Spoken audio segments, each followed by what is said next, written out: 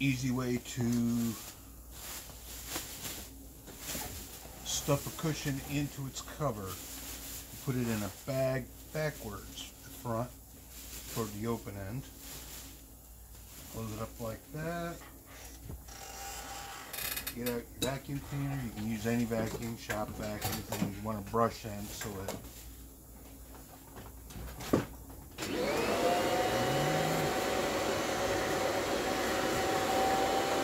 up the sides.